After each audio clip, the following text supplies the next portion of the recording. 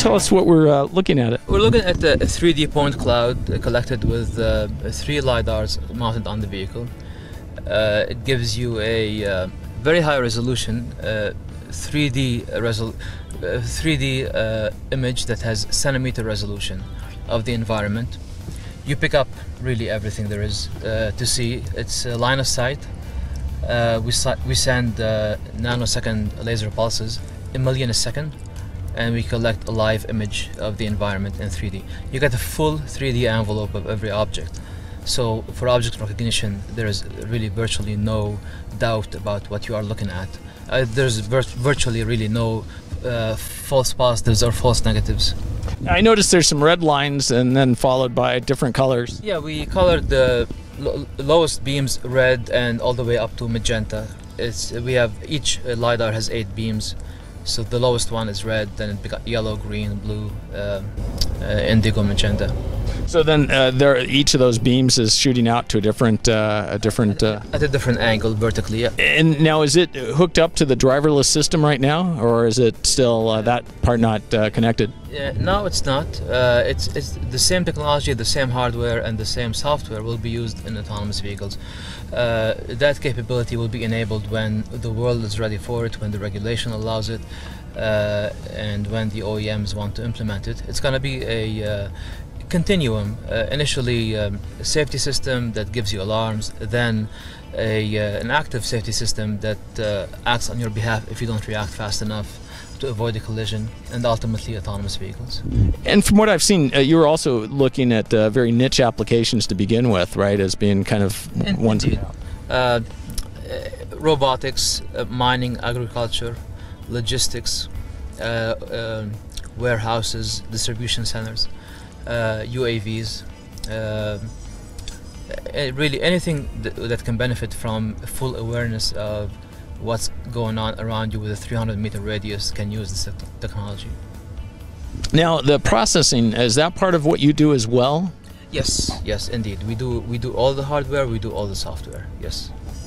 And so, from a uh, uh, OEM perspective, like a Mercedes, whoever it might be, uh, is it a huge uh, integration effort for them? It's not. We work very closely with them. It's a partnership. We, we don't have a supplier relationship where we throw things over the wall. We work very closely with them uh, to make sure that uh, the transition is seamless.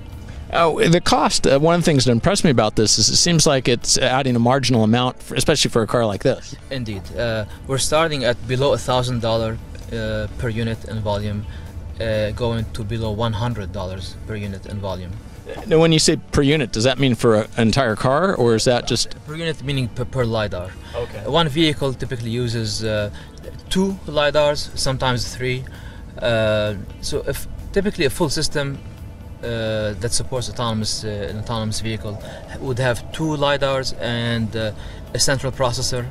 That with the software uh, would be a $2,500 uh, package, whereas it used to cost not too long ago $250,000 to make a vehicle autonomous.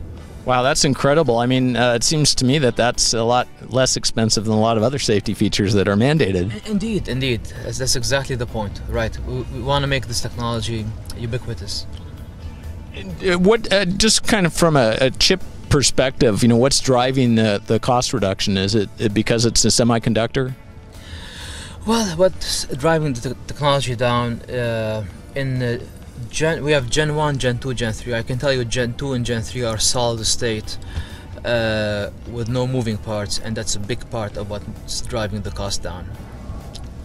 And so, uh, where, what are you looking at? Do you think, uh, you know, right now we have a couple little um, uh, external devices on the car itself, but you're suggesting that'll be integrated.